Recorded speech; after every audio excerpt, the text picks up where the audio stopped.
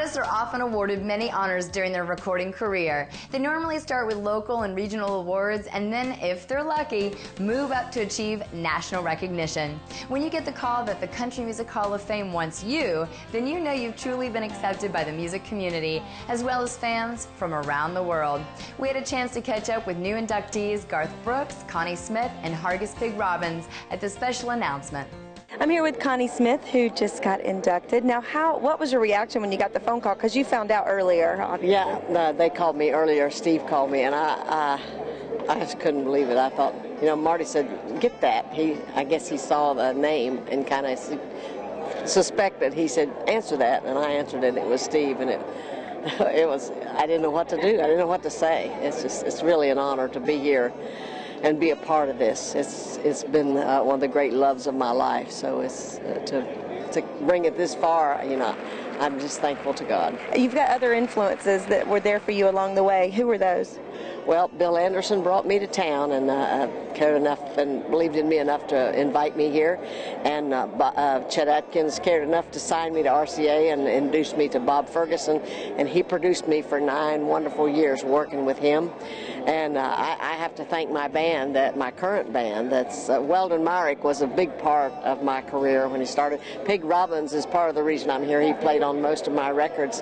And my band, Rod Ham and Gary Carter on Rod on bass, Gary on Gary Carter on steel, Rick McClure on drums, and Rick Wright on guitar. They're on my new album, and they're wonderful. I love uh, meeting them at the bus and going on the road with them. And uh, I thank my kids for you know believing in their mama and uh, just uh, with Marty helping me. He's producing me now and my records and there's just there's too many to I know I'd forget a bunch of people but it's it's been a wonderful ride. I've, I've loved it. And my friends so many friends that believed in me. Here with Hargus Pig Robbins. How are you? I know this is a big day. Oh it is. I'm just just I just I'm beside myself. I can't I, I just can't put into words how how, how I feel now, getting here today and getting up and speaking, and talk a little bit about the first time that you uh, started playing keyboard.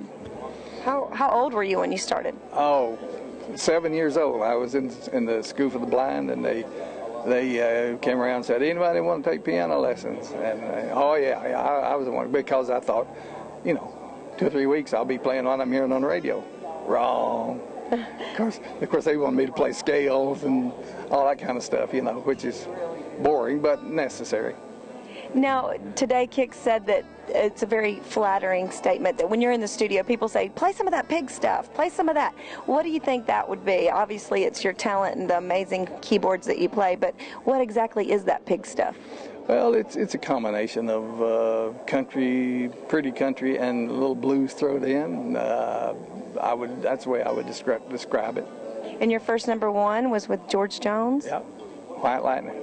All right. And would you say what would you say is the biggest highlight of your career? Obviously, today would be right up there. I'm oh, sure. Yeah, it would be. Oh, I don't know, just playing on a record that sells, that's a hit, you know, a number one hit. That, that, that's good for me. It's a big day today. Garth Brooks just got announced that you're in the Hall of Fame. What was your reaction when they called you and told you? It was a mix of emotion. I was so, I was so overwhelmed, so overjoyed. I felt guilty. I felt uh, embarrassed, and I felt uh, honored. Uh, it's all the great feelings. So I, I feel very lucky to be here today. Randy Travis cleared the whole way for the 80s for guys like me in the class of 89 to come through. He opened all those doors. Um, you know, my generation shot at Haggard and Jones was Keith Whitley. And uh, Keith needs to be in here uh, Ricky Skaggs. My God, none of us would be here if it wasn't for Ricky Skaggs. He filled all the honky tonks and everything there. So uh, uh, there's a lot of catching up to do, and like everybody that goes in it says it, and uh, they'll eventually get here. I just don't think that I should have been here before them, but I feel very honored, and, and I'll take it and feel very grateful for it. Was this one of your goals? Like, I'm going to be in the Country Music Hall of Fame, or did you take it day by day? No, I wanted to be a songwriter when I came here. I, I came here with much too young to fill this damn old for George Strait that was it. I didn't have any dreams or aspirations after that. Never touring, never cutting records. Just wanted to be a songwriter, and uh, and uh, it's weird because I didn't know then. I guess I did know then, but probably the greatest honor in this town is being called a songwriter. So being in the Songwriters Hall of Fame was wonderful. Now being in this Hall of Fame, it, it makes you feel very humble. Uh, just I don't know how to say it other than that. All right, thank you very much. What's in the future for Garth Brooks? What can we expect? Music maybe, or well, we'll see. Our um, our babies, uh, our youngest one's a sophomore in high school, so we got a couple more years. But I got to tell you, if digital music retail right now doesn't change, I, I don't see us. I don't see us being able to even make records in the future. But touring, definitely, I, I would love to fire it up. The Nashville Flood Relief shows got the taste in my mouth so much. I, I'd, I'd love to fire it up again. All right. Thank you very much. Congratulations. Garth Brooks on Inside Music Row. We still have lots more incredible music up ahead for you, so make sure to keep it right here. We'll catch up with Trace Adkins at a special benefit show next. We'll be back with more Inside Music Row right after this.